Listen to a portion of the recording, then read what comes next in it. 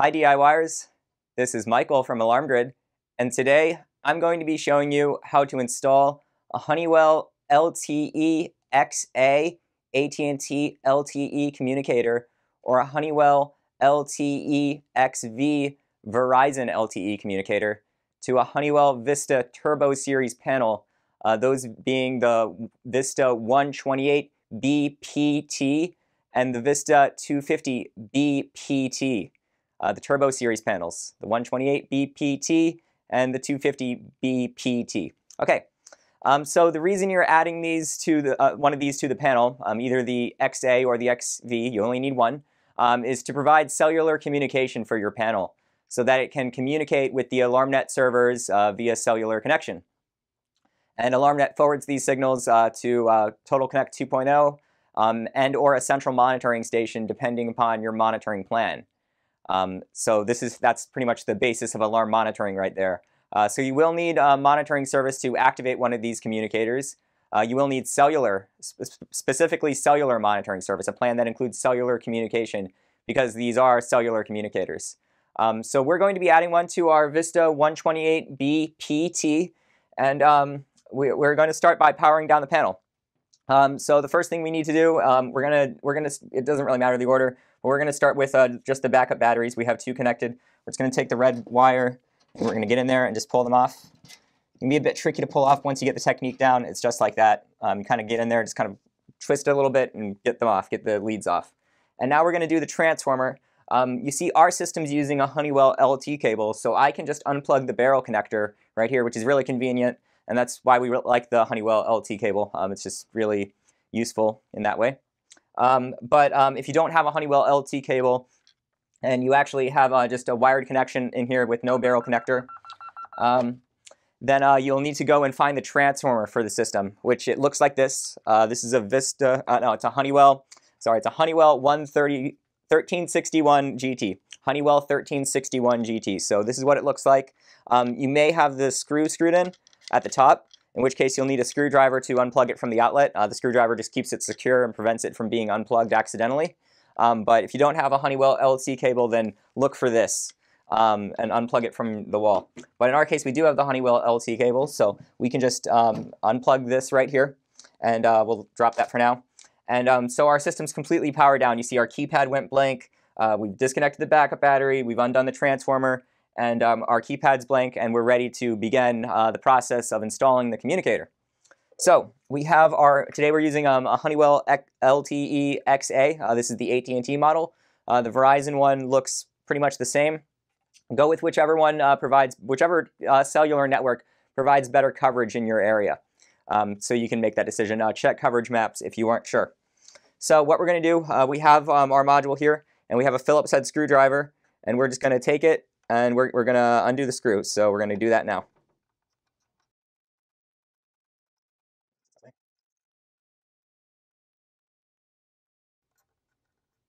Okay, so we got the screw removed. And now we're going to open up the communicator just so we can take a look inside. Um, you will want to make sure you note uh, the, the MAC and the CRC codes um, on the communicator. Uh, you will need those when you go to activate. Um, so it's recommended that you either write down these codes or take a picture of this sticker uh, so that way you have easy access to it and just, just keep it somewhere safe um, where you can access it later. Um, so that way you won't have to reopen up the module again. Um, it, it's just more convenient to have it that way. So uh, we're going to begin mounting the communicator. Um, you do have the option of, of doing a wall mount. Um, it does come with um, mounting equipment. Uh, we have it right here, but we're not going to be doing that today. just to point out, you do have the mounting slots, the screw slots uh, in the back for mounting it. Um, but we're actually going to be um, mounting ours um, outside the, the panel's metal enclosure, or some people call it the metal can. Um, you, you, have it mounted outside so that way it gets a better cell cellular reception. Um, if it were inside the panel, then the reception, um, it wouldn't be very good. It would be locked and there, it, the metal would be causing interference. So uh, you, you actually mount it on the outside. you use uh, this threaded clip right here that you add to the LTE XA or LTE XV. so with it open, uh, you can take it and um, you just kind of slide in. I, I'm, I'm kind of demonstrating how it goes right now. And so we're just going to click it into place, just slide into place, and it'll click just like that, and it's locked, and it's nice and secure. Um, so that, that won't come loose at all.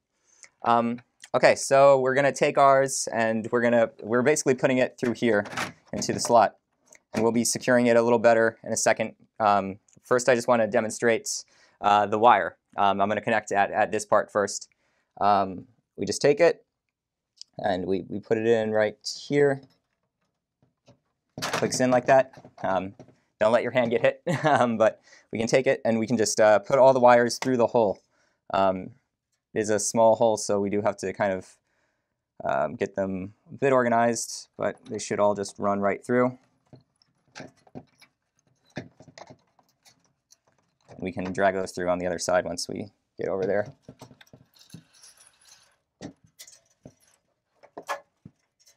There we go. Okay. So we've got that set up and everything, um, so that's good. Um, oh, I almost forgot.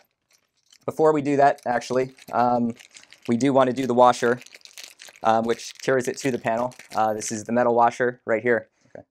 We're just uh, sliding the washer through the wires, step down the line, so we get to here. And then we're just going to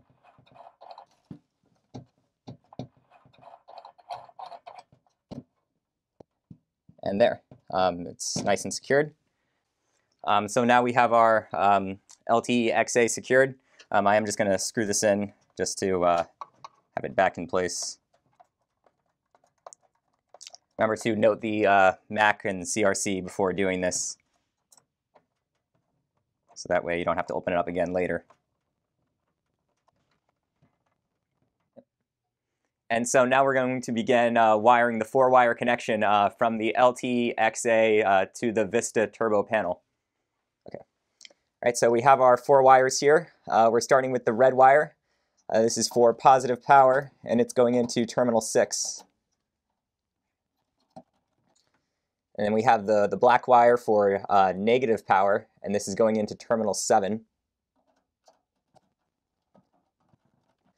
And then we have uh, the green wire, and that's going into terminal 8. Okay. And last we have our yellow wire, which is going into terminal 9. Uh, this might also be a white wire in some cases. Um, and if you have existing wires at the, at the keypad bus, then you can just uh, match the colors, which is what we're doing here. But the yellow one or the white one is going into terminal 9. All right, and we'll just give it a quick tug to make sure it's all good. And looks like the red one might be a little loose. We'll just tighten that down a little bit, loosen it up and then tighten it down, get it in there. There we go. Okay. And those look good. And so now that we have our connections made, uh, we can power on the panel again. Uh, if you turned off power at the breaker, um, you can go and do that. Um, in our case, we have our LT cable, so we'll just be uh, plugging it back in, or uh, just plug your transformer back into the wall. Um, remember to do, the set screw if applicable. But uh, we have our LT cable down on the floor here, and we're just going to plug it back in. And uh, we see the Vista keypad come on, uh, so we know um, that uh, the panel is receiving power. And if you check the LED lights on, um, on the LTE XA, then you can see that uh, it, is, it is receiving power. And uh, you will want to check cellular signal um, on the LED lights when you do power it on. Um, you can refer to the manual for more information on how to, how to do this, but uh, this will just uh, give you a brief indication of uh, signal strength. Um, it will take some time to boot up, so we can't see it quite yet, um, but there is the signal um, button, uh, the signal LED on there, so you can check that for more information. Um, just to make sure you're getting good cellular reception, um, you want to make sure you have a strong, strong enough cell signal, or else uh, you might your panel might go offline. So for most people, that's not a worry. With the LTE networks, they, they provide great coverage area. Um, so just make sure to check that though, make sure everything's good on that. And uh, lastly, uh, you will need to activate the communicator for monitoring service. Um, your monitoring company will help you with this. If you're being monitored by AlarmGrid, uh, then uh, we will contact you at the activation slot that you scheduled and we'll um, walk you through the rest of the process to get it up and running. Uh, remember that you will need to provide the MAC and CRC codes from the communicator uh, during the activation process. so that's how you install a Honeywell LTE XA or a Honeywell LTE-XV to a Honeywell Vista Turbo series, uh, those being the Vista 128BPT and the Vista 250BPT.